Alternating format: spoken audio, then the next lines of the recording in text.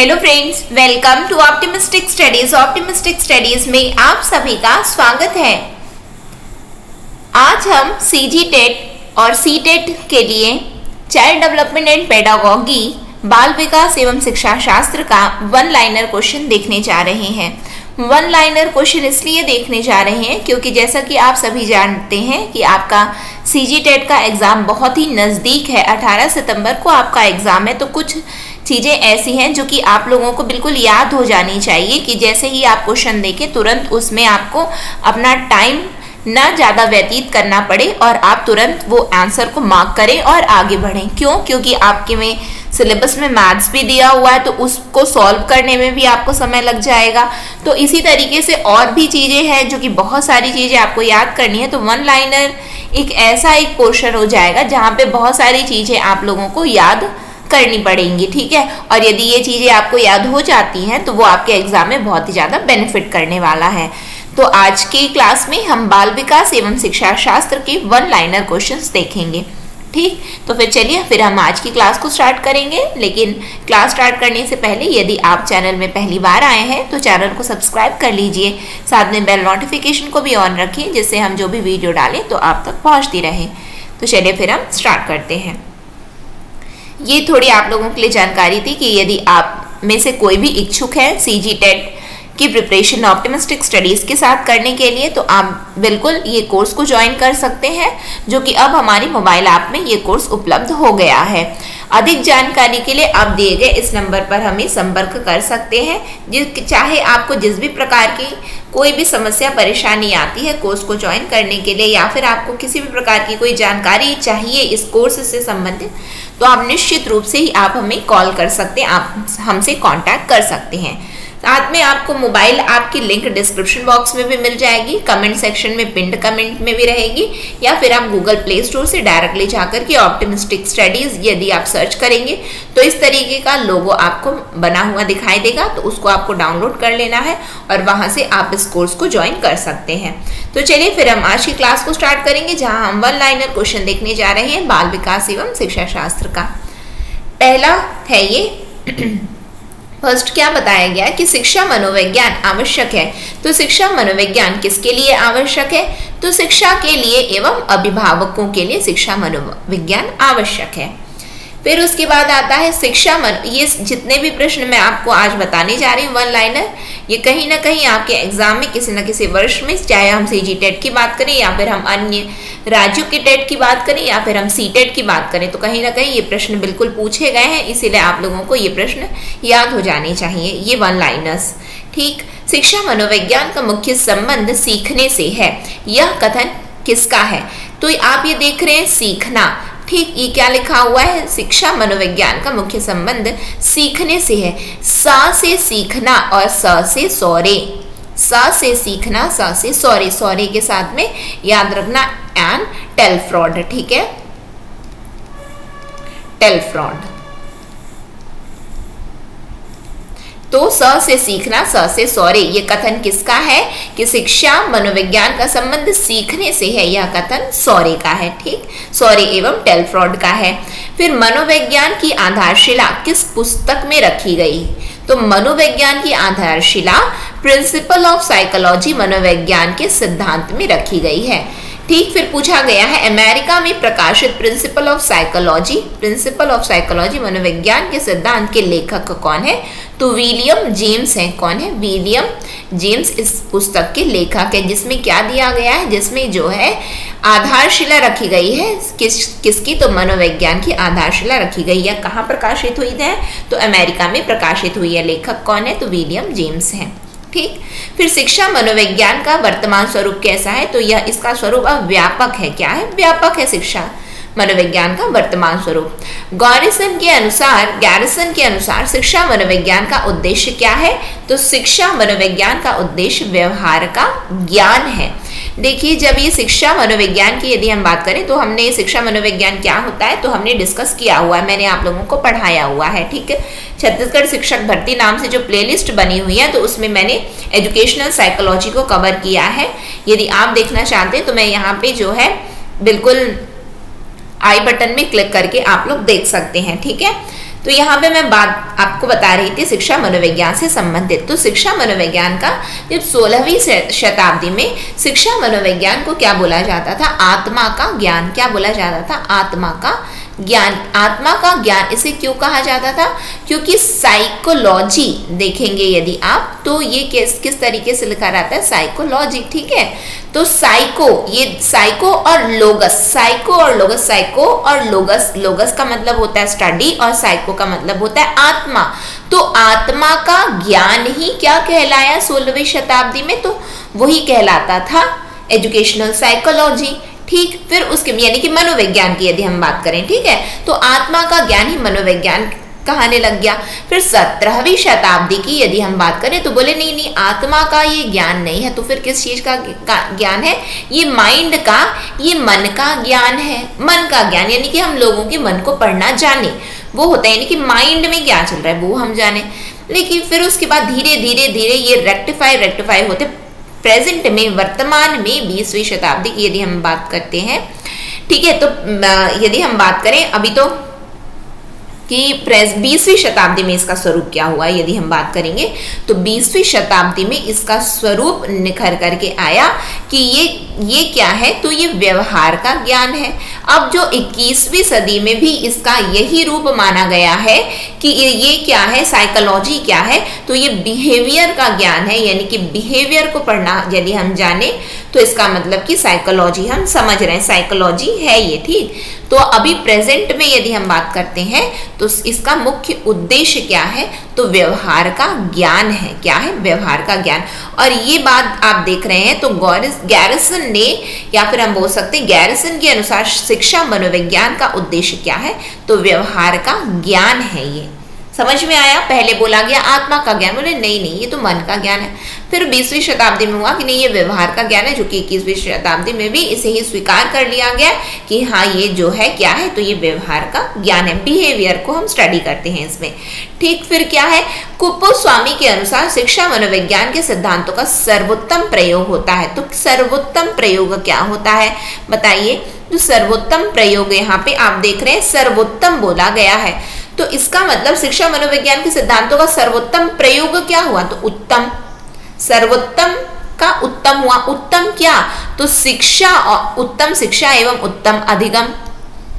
उत्तम शिक्षा और उत्तम अधिगम ही क्या है? तो ये क्या है? उस, इसके सिद्धांतों का सर्वोत्तम प्रयोग है। ये कौन बोल रहा है? तो कुप्पू स्वामी। ठीक। फिर क्या है? शिक्षा मनोविज्ञान का प्रमुख उद्देश्य कॉलेसनिक के अनुसार क्या है? तो शिक्षा की समस्याओं का समाधान करना।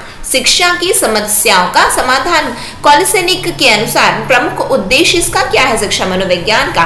तो शिक्षा मनोविज्ञान का प्रमुख उद्देश्य है कि हम शिक्षा की समस्याओं का यदि हम समाधान कर दें तो क्या निकल करके आ जाएगा? वही शिक्षा मनोविज्ञान का प्रमुख उद्देश्य होगा। याद कैसे करें? याद चीज़ें तो होनी चाहिए ना। तो देख रहे हैं हम कॉलेसनिक। क्या है? कॉलेसनिक स है ना? सनिक कॉलेसनिक यानी कि समस्या का समाधान. शिक्षा मनोविज्ञान शिक्षा मनोविज्ञान क्या? शिक्षा का मनोविज्ञान. यानी कि एजुकेशन एजुकेशनल साइकोलॉजी है क्या? तो साइकोलॉजी ऑफ़ एजुकेशन शिक्षा का मनोविज्ञान. ठीक है? तो वही तो है कि शिक्षा की समस्याओं का यदि हम समाधान कर दें तो वही प्रमुख उद्देश्य है। कॉलेसनिक स से सनिक और स से समस्या. ऐसे आप लोग रिलेट करके याद करना, याद तो करना पड़ेगा, लेकिन यदि रिलेट हो जाए तो अच्छी बात है। फिर उसके बाद में कैलो के अनुसार शिक्षा मनोविज्ञान के कितने उद्देश्य तो शिक्षा मनोविज्ञान के नौ उद्देश्य हैं। ठीक, किसके अनुसार? तो कैलो के अनुसार। स्कीनर के अनुसार शिक्षा मनोविज्ञान के सामान्य उद्देश्य क्या है? तो आप बताइए कि सामान्य उद्देश्य शिक्षा मनोविज्ञान की क्या होनी चाहिए? आप क्या पढ़ रहे हो? बाल विकास एवं शिक्षा शास्त्र। तो शिक्षा मनोविज्ञान का उद्देश्य इसमें क्या होगा? सामान्य दृष्टि से तो बाल विकास ही तो होगा। सामान्य दृष्टि से हाँ बिल्कुल बाल विकास करना है, चाहे डेवलपमेंट करना है, ठीक है? लेकिन यदि हम विशिष्ट उद्देश्य देखें तो स्कीनर विशिष्ट उद्देश्य के संबंध में क्या बोलते हैं कि शिक्षा मनोविज्ञान का विशिष्ट उद्देश्य क्या है? तो बालकों के वांछनीय व्यवहार के अनुरूप शिक्षा के स्तर एवं उद्देश्यों को निश्चित निश्चित करने में सहायता करना। याद हुआ? नहीं हुआ। कैसे याद करें? याद हो जाएगा ना। कोई दिक्कत नहीं है। याद करना है ना, उस, वो मेरे पर छोड़ दो कि याद कैसे करवाना है। मैं आपको याद करवा दूँगी। देखिए, हम सामान्य की बात करते हैं। तो सामान्य क्या है? अच्छा शिक्षा मनोविज्ञान सामान्य उद्देश्य क्या होना चाहिए? बाल विकास तो होना चाहिए। क्या पढ़ क्या रहे हैं? बाल विकास के अंतर्गत ही तो ये आता है। तो हाँ बिल्कुल, बाल विकास तो हो गया। ये तो सामान्य। किसके सामान्य? ठीक है। अब इसको याद कैसे करिए? स्किनर ने कहा है। स्किनर ने ही कहा है तो सामान्य उद्देश्य जैसे कि रिलेट करना तो उसे हम थोड़ा रिलेट करेंगे ही। लेकिन जब विशिष्ट उद्देश्य की यदि हम बात करें तो देखिए शिक्षा मनोविज्ञान क्या होता है कि जब हम बिहेवियर को पढ़ना जान जाते हैं, कि बच्चे के अनुरूप क्या है, कि बच्चे को कुछ बच्चे ऐसे होते हैं, उनको चीज़ें जल्दी समझ में आ जाती हैं, बहुत इंटेलिजेंट है। कुछ बच्चे ऐसे हैं जिनको चीज़ें थोड़ी देर से समझ में आती हैं, कुछ बच्चे ऐसे हैं कि वो बिल्कुल बहुत ही देर से उनको चीज़ें समझ तो सबके जब हम अनुरूप उनके वांछनीय व्यवहारों के अनुरूप आप जब उन्हें शिक्षा प्रदान करेंगे तो यही तो शिक्षा मनोविज्ञान का मुख्य उद्देश्य होगा या फिर विशिष्ट उद्देश्य होगा? क्यों? क्योंकि हमने ना बच्चे के बिहेवियर को जान लिया है। अब हम उनके अनुरूप शिक्षा दे रहे हैं। तो इसका क्या मतलब हुआ? इसका मतलब ये विशिष्ट उद्देश्य के अंतर्गत आता है। याद रहेगा? अब अब याद रहेगा। अब तो कोई दिक्कत नहीं होनी चाहिए। कि स्कीनर ने सामान्य और विशिष्ट के बारे में क्या कहा? ठीक।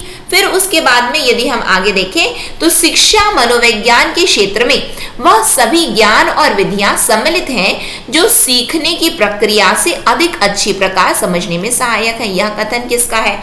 तो यह कथन ली का है। किसका है? ली का है। इन्होंने क्या कहा कि शिक्षा मनोविज्ञान के क्षेत्र में वह सभी ज्ञान और विद्या सम्मिलित होनी चाहिए, जो सीखने की प्रक्रिया से अधिक अच्छी प्रकार समझने में सहायक हो। देखिए, सीखना है हमें।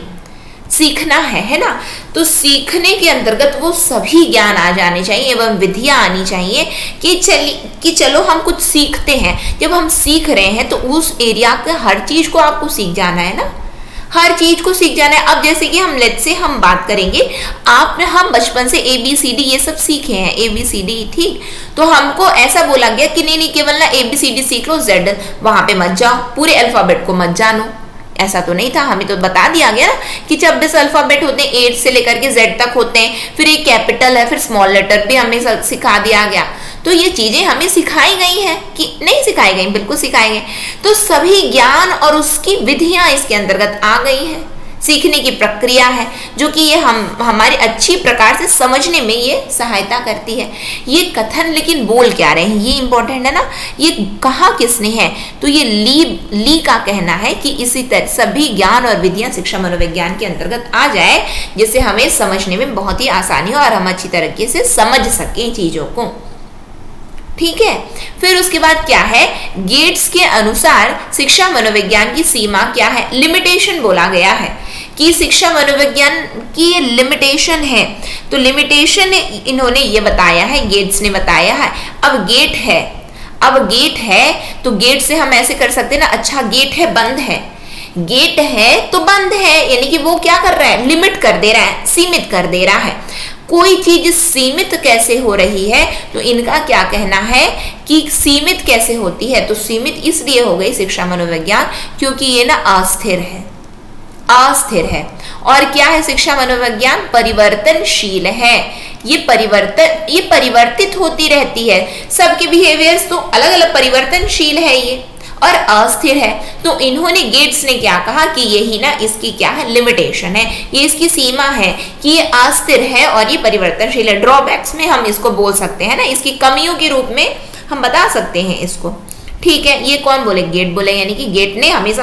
गेट लग गया, सीमा आ गई, सीमा आ गई तो अस्थिर और परिवर्तनशील कोई चीज़ है तो उसको उन्होंने शिक्षा मनोविज्ञान को इसलिए बोल दिया कि ये सीमित है। ठीक, फिर फ्रॉबेल ने क्या कहा है? सॉरी क्वेश्चन क्या है, मैंने तो डायरेक्टली आपको आंसर ही बोल दिया ना। यहाँ पे क्या है, अवस्था विशेष के आधार पर ही हमें किसी को बालक, युवा या वृद्ध कहना चाहिए। आप पहले अवस्था तो देख लीजिए, उसके बाद में बोलिए ना, कौन बच्चा है, कौन युवा है, कौन वृद्ध है है ना? ये कौन बोल रहा है? तो फ्रॉबल बोल रहे हैं। फ्रॉबल का कहना है कि अवस्था के आधार पर किसी को बोलना, अवस्था के आधार पर, ठीक है? तो फ्रॉबल का क्या कहना है? फ्रॉबल बोल रहे हैं कि किसी को बालक बोलना है, बोल दीजिए, कोई दिक्कत नहीं है, किसी को युवा बोलना है, बोल दीजिए। और किसी को आपको वृद्ध बोलना है ना, बिल्कुल बोलिए, कोई दिक्कत नहीं। लेकिन उनकी अवस्था तो देख लीजिए। उनकी अवस्था देख करके बोलिए ना, बालक है कि युवा है कि वृद्ध है, ये कौन बोल रहा है? तो फ्रॉबल बोल रहे हैं। ठीक, फिर हर्बर्ट के अनुसार शिक्षा सिद्धांतों का आधार क्या होना चाहिए? तो बताइए कि शिक्षा सिद्धांतों का आधार क्या बनना चाहिए? तो मनोविज्ञान यानी कि मनोवैज्ञानिक होना चाहिए कि आप लोगों को, आपको किसी को पढ़ाना है, पहले बिहेवियर को जान लीजिए। बिहेवियर को जाने ना बच्चा कैसे, कि जिस बच्चे को आप पढ़ा रहे हो, बच्चे को समझ में आ रहा है कि क्लास में हम इंटेलिजेंट बच्चे की बस उसने मुंडी हिला दिया, समझ में आया हाँ हाँ बिल्कुल समझ में आया, और आगे बढ़े नहीं। शिक्षा देना, यदि आप शिक्षा दे रहे हो तो आपका दायित्व बनता है कि प्रत्येक बच्चा यानी कि क्लास का प्रत्येक प्रत्येक बच्चों को समझ में आना चाहिए, हर एक बच्चे को। ये नहीं है कि किसी होशियार बच्चे होशियार बच्चे को तो आप आसानी से समझा दोगे। कोई बड़ी बात नहीं, उसको समझाइए ना कि जिसको समझ में देर से आता है। हर्बर्ट का क्या कहना है? हर्बर्ट का ये कहना है कि शिक्षा सिद्धांतों का आधार ही क्या बनेगा? मनोवैज्ञानिक बनेगा। ठीक है? फिर क्या है? मॉन्टसेरी के अनुसार एक अध्यापक द्वारा उस स्थिति में ही शिक्षण कार्य प्रभावी ढंग से किया जा सकता है। जब उसे ज्ञान होगा, किस चीज़ का होगा? मनोविज्ञान के प्रयोगात्मक स्वरूप का। जान तो गए, बहुत सारी चीज़ें तो पढ़ लिए, लेकिन जान ही नहीं रहे कि इसको कैसे हमें इसका प्रयोग करना है। तो जब हम मनोविज्ञान के प्रयोगात्मक स्वरूप का ज्ञान यदि हमें है तब जाकर के तो शिक्षण कार्य प्रभावी बनेगा, अन्यथा नहीं बनेगा। अन्यथा बहुत डिग्रियाँ तो बहुत सारी हो जाती हैं, लेकिन प्रभावी तो नहीं कर पाते हैं लोग। प्रभावी जब हो, जब आप यूज़ भी तो करना चाहें, यानी कि मनोविज्ञान के प्रयोगात्मक स्वरूप का यदि किसी अध्यापक को ज्ञान है, तब जाकर के तो शिक्षण कार्य प्रभावी हो पाएगा। बोला किसने? तो मॉन्सेरी ने बोला, म से मॉन्सेरी और मनोविज्ञान का प्रयोगात्मक स्वरूप। म से मॉन्सेरी और म से मनोविज्ञान के प्रयोगात्मक स्वरूप का ज्ञान। ठीक, फिर क्या है? वर्तमान समय में शिक्षा मनोविज्ञान की आवश्यकता। वर्तमान समय में शिक्षा मनोविज्ञान की आवश्यकता है। क्यों है? तो बाल केंद्रित शिक्षा के लिए है। शिक्षा, बताइए, क्यों है? बताइए, शिक्षा मनोविज्ञान की आवश्यकता ही क्यों है? बाल विकास स्किनर ने क्या बोला? बाल विकास, यानी कि स्टूडेंट चाइल्ड ओरिएंटेड एजुकेशन होनी चाहिए। चाइल्ड ओरिएंटेड होनी चाहिए, यानी कि बाल केंद्रित शिक्षा होनी चाहिए। कि ये नहीं कि हम किसी को कुछ भी कुछ भी बोल रहे हैं, बोल रहे हैं, बच्चों को तो समझ में आ जाए। आप उनके स्तर का बताइए। अब आप क्लास वन में पढ़ा रहे हो तो आप क्लास वन के बच्चों को कक्षा ग्यारहवीं, बारहवीं की तो शिक्षा नहीं देने लग जाओगे ना? आप उनको उनके अकॉर्डिंग शिक्षा दोगे? दोगे कि नहीं? ये है वर्तमान स्वरूप। किसका? तो शिक्षा मनोविज्ञान। शिक्षा मनोविज्ञान का वर्तमान स्वरूप क्या है कि वो बाल केंद्रित शिक्षा होनी चाहिए। इसीलिए शिक्षा मनोविज्ञान की आवश्यकता भी है ठीक। फिर क्या है? वर्तमान समय में शिक्षा मनोविज्ञान की आवश्यकता समझी जाती है। क्यों समझी जाती है? जिससे बच्चों का सर्वांगीण विकास हो, हो सके। क्यों आवश्यकता इसकी समझी गई? पहली बात बाल केंद्रित शिक्षा देना है। अब वो केवल बाल केंद्रित क्यों किए हैं? हम इसलिए किए हैं क्योंकि वो जिससे बच्चों का सर्वांगीण विकास हो ऑलराउंड डेवलपमेंट होना चाहिए ना। डेवलपमेंट की यदि हम बात करते हैं तो डेवलपमेंट क्या होता है? डेवलपमेंट गुणात्मक होता है। क्वालिटेटिव होता है। जब क्वालिटी की बात करते हैं तो वहाँ पे सर्वांगीण विकास आता है। पढ़िए तो ऐसा पढ़िए कि डायरेक्टली जिसके लिए पढ़ रहे हो तो डायरेक्टली वो एग्ज़ाम क्लियर हो जाए। इसीलिए पढ़ रहे हैं ना कि नहीं नहीं भी हो गया, ठीक है, चल रहा है, हो गया हाँ पढ़ रहे हैं। ऐसा तो नहीं है। तो इसीलिए इसकी आवश्यकता क्यों समझी गई? जिससे जिससे सर्वांगीण विकास हो सके, ठीक? फिर क्या है? शिक्षा मनोविज्ञान का प्रमुख लाभ क्या है? तो बताइए इसका प्रमुख लाभ क्या होगा? लाभ ये होगा, जब शिक्षक और शिक्षार्थी, इनके बीच का संबंध कैसे होगा? जब अच्छा होगा, मधुर होगा, पूछिए कैसे? जब शिक्षार्थी के बिहेवियर को शिक्षक जान गए, शिक्षार्थी के बिहेवियर को शिक्षक जान गए तो उनको अब वो कैसी एजुकेशन दे रहे हैं जो उनके अनुरूप है? जब बच्चों के अनुरूप जब शिक्षा है कि हाँ हाँ हमें ना तो आज की आज की क्लास तो बढ़िया अच्छे से समझ में आ गई है। जब आज की क्लास अच्छे से समझ में आई है तो बच्चा बड़े इंटरेस्ट के साथ में भी पढ़ रहा है और इनके बीच का संबंध भी अच्छा अच्छा मुझे ना यहाँ पे थोड़ा डाउट है। हाँ ठीक है, बताओ क्या डाउट है? बिल्कुल क्लियर हो जाएगा। वो डाउट भी क्लियर हो गया। बच्चे को क्या समझ में आ इतनी कॉम्प्लिकेटेड से कॉम्प्लिकेटेड चीज़ बच्चों को समझ में आ गई। ठीक है? तो इसका प्रमुख लाभ क्या हुआ? कि लाभ ये हुआ कि उनके बीच का जो संबंध है वो मधुर हो गया किसका? तो शिक्षक और शिक्षार्थी का। ठीक? फिर क्या है? कक्षा में छात्रों की, उनकी विभिन्नताओं के आधार पर पहचानने के लिए शिक्षक को ज्ञान होना चाहिए। तो किसका होना चाहिए? कैसे पहचानेंगे? उनकी विभिन्नता, बच्चा तो हर एक अलग है। एक होशियार होता है, एक थोड़ा सा मीडियम होता है और एक थोड़ा सा और ज़्यादा लो कैटेगरी में आता है। लो कैटेगरी मीन्स उसको थोड़ा देर से समझ में आता है। बट स्टिल आपका दायित्व क्या है? हर एक बच्चे को समझ में आए। तो विभिन्नताओं को पहचानने के लिए शिक्षक को किस चीज़ का ज्ञान होना चाहिए? कब आप समझ पाएँगे? जब आपको शिक्षा मनोविज्ञान का ज्ञान होगा। शिक्षा मनोविज्ञान का यदि आपको ज्ञान होता है तो आप बिल्कुल समझ पाएँगे। ये जो शिक्षा मनोविज्ञान में आप लोगों को बता रही हूँ ना तो छत्तीसगढ़ शिक्षक भर्ती नाम से प्लेलिस्ट बनी हुई है। ये आपका बाल विकास यानी कि सी टेट सी जी टेट ये दोनों एग्ज़ाम में ये आपके लिए लाभदायक है तो उस वीडियो को आप लोग ज़रूर देखिए। तब जाकर के ये चीज़ें ना बिल्कुल कठिन नहीं लगेंगी, आसान लगेंगी और बड़ा इंटरेस्टिंग है ये चैप्टर ठीक है? फिर क्या है? समय सारणी में गणित, विज्ञान या कठिन विषय के कालांश पहले क्यों रखे जाते हैं? बताइए, ये क्यों पहले रखे हैं मनोविज्ञान के आधार पर? अब बोलो, बोलोगे, कैसे मनोविज्ञान के आधार पर? ये थोड़ी बात क्लियर नहीं हुई। होगी ना? कैसे नहीं होगी? अब देखो, माना ये गया है, बहुत ही शोध के बाद इस, ये निष्कर्ष निकाला गया है कि जब बच्चा, जब फ़र्स्ट क्लास लगती है, ठीक है? तो जब यानी कि एकदम तरोताजगी सी होती है। बच्चे के दिमाग में कोई किसी प्रकार का प्रेशर नहीं है। तब चीज़ें उसको ऐसी पढ़ाओ जो थोड़ी कठिन है। क्यों? क्योंकि हर एक बच्चा गणित में अच्छा नहीं होता, हर एक बच्चा विज्ञान में अच्छा नहीं होता। उन किसी किसी का स्ट्रांग है, किसी का वीक है, किसी को अच्छा लगता है, किसी को नहीं लगता है। तो इसीलिए जो फ़र्स्ट पीरियड रखो ठीक है? यानी कि पहले क्या रखना चाहिए? कठिन विषय को रखना चाहिए। और ये भी माना गया कि इंटरवेल के बाद में रिसेस के बाद में, ठीक है? तो उस, उसके बाद भी जो पीरियड होगा तो उस समय भी कठिन सब्जेक्ट्स को रखो। ये मनोविज्ञान के आधार पर ये निष्कर्ष निकाला गया और यही आपसे पूछा गया है कि समय सारणी में गणित विज्ञान या कठिन विषयों के कालांश पहले क्यों रखे जाते हैं? तो मनोविज्ञान के आधार पर, ये बच्चों के बिहेवियर को पढ़ करके ये निष्कर्ष निकाला गया है। ठीक है? फिर क्या आता है कि सफल एवं प्रभावी शिक्षा अधिगम प्रक्रिया के लिए आवश्यक है। क्या आवश्यक है? तो शिक्षण अधिगम सामग्री का प्रयोग। शिक्षण अधिगम सामग्री का प्रयोग एवं शिक्षा मनोविज्ञान के सिद्धांतों का प्रयोग। जब आप शिक्षण अधिगम सामग्री का प्रयोग करना जान गए तब तो जाकर के सफल एवं प्रभावी शिक्षा अधिगम, यानी कि तब हो पाएगा, यानी कि प्रभावशाली शिक्षा अधिगम हो पाएगा। ठीक है? फिर और क्या बताया गया कि शिक्षा मनोविज्ञान के सिद्धांतों का प्रयोग भी करना आना चाहिए। इसके जो सिद्धांत है, वो आने चाहिए हमें यूज़ करना कि अच्छा ये ये शिक्षा मनोविज्ञान के ये सिद्धांत हमें इस तरीके से उनको यूज़ करना है। उसका प्रयोगात्मक ज्ञान तो होना चाहिए, तब तो जाकर के शिक्षा प्रभावी बनेगी। ठीक है?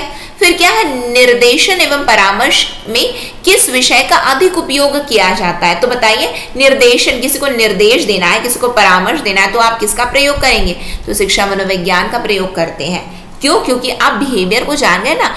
आप बिहेवियर को जान गए, कब, कहा, कैसे, किसको, क्या बताना है। तो आप बिल्कुल बता देंगे। तो आप बिल्कुल बता देंगे, ठीक है? फिर क्या है? छात्रों की योग्यता एवं रुचि के आधार पर पाठ्यक्रम निर्माण में योगदान होता है। किसका? तो शिक्षा मनोविज्ञान का। छात्रों की योग्यता एवं रुचि देखिए, शिक्षा मनोविज्ञान से इस तरीके के प्रश्न कितने एकदम छोटे छोटे हैं। लेकिन घुमावदार है कि नहीं? बस समझने की देर है। समझ गए तो आपसे बन जाएँगे। अब नहीं समझे तो फिर नहीं बनेंगे। अब देखिए नेक्स्ट क्वेश्चन क्या पूछा गया है कि बुद्धि परीक्षण विषय है। अब बुद्धि का परीक्षण कैसे करोगे? बुद्धि का परीक्षण करोगे शिक्षा मनोविज्ञान के द्वारा। कैसे करोगे बुद्धि का परीक्षण? जैसे कि मैंने आपको बताया, बोला गया कि माइंड को पढ़ने का है। माइंड माइंड को पढ़ने का है। अरे माइंड को पढ़ने का है? इसका ये क्या मतलब हुआ?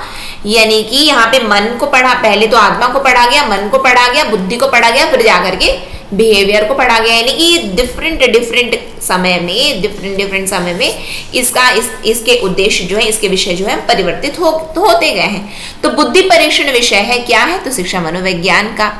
फिर पूछा गया है कि शिक्षक मनोविज्ञान के ज्ञान द्वारा बालकों की क्या होती है? यदि शिक्षक मनोविज्ञान को, शिक्षक को यदि मनोविज्ञान का ज्ञान है तो क्या होगा? तो बुद्धि तथा रुचियों की जानकारी करके शिक्षा देते हैं शिक्षक, और प्रकृति को जानकर शिक्षा देते हैं, और आर्थिक स्थिति तथा पारिवारिक स्थिति को जानकर, जान, जानकारी लेकर शिक्षा देते हैं।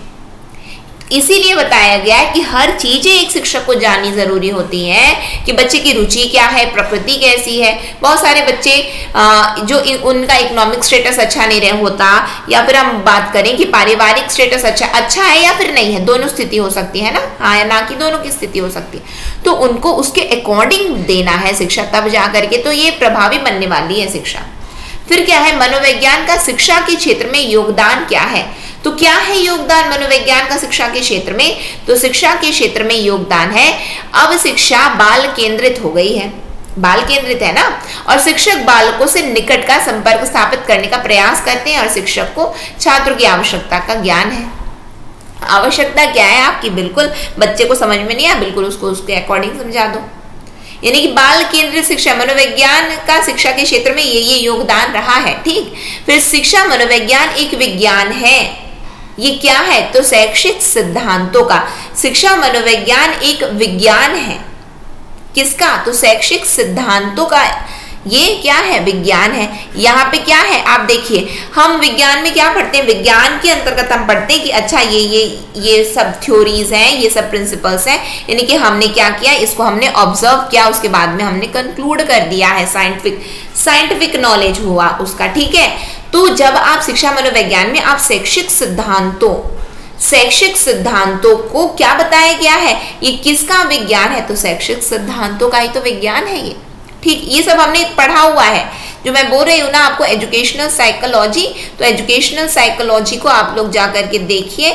मैंने पढ़ाया हुआ है, वहाँ पे हमारे तीन लेक्चर हुए हैं तो वहाँ पे आपको चीज़ें क्लियर हो जाएँगी, ठीक? फिर क्या है? शिक्षा मनोविज्ञान की उत्पत्ति मानी जाती है कब? तो वर्ष 1900 में शिक्षा मनोविज्ञान की उत्पत्ति मानी जाती है, ऐसा माना गया है, ठीक?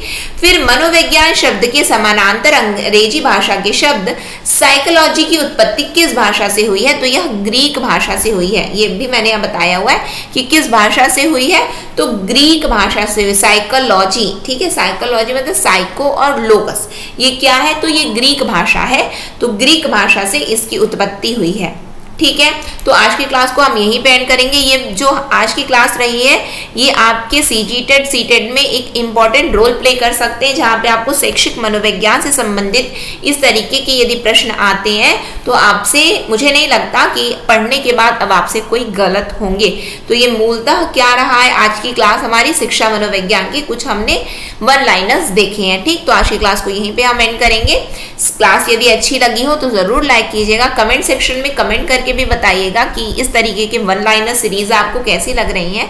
ज़्यादा से ज़्यादा लोगों तक शेयर भी ज़रूर कीजिएगा, क्योंकि ज़्यादा से ज़्यादा लोगों तक, जैसे कि आप सभी जानते हैं, आपका एग्ज़ाम बहुत ही नज़दीक है तो ज़्यादा से ज़्यादा लोगों तक इस, इसका लाभ पहुँच सके तो ज़रूर शेयर कीजिएगा। और यदि आपने अब तक चैनल को सब्सक्राइब नहीं किया तो चैनल को भी सब्सक्राइब कर लीजिए। साथ में ये बेल बटन को ऑन रखिए, जिससे हम जो भी वीडियो डालें नोटिफिकेशन बटन इसे बोलते हैं। तो इस बेल बटन को ऑन रखिए, जिससे हम जो भी वीडियो डालें तो आप तक तो पहुँचती रहे।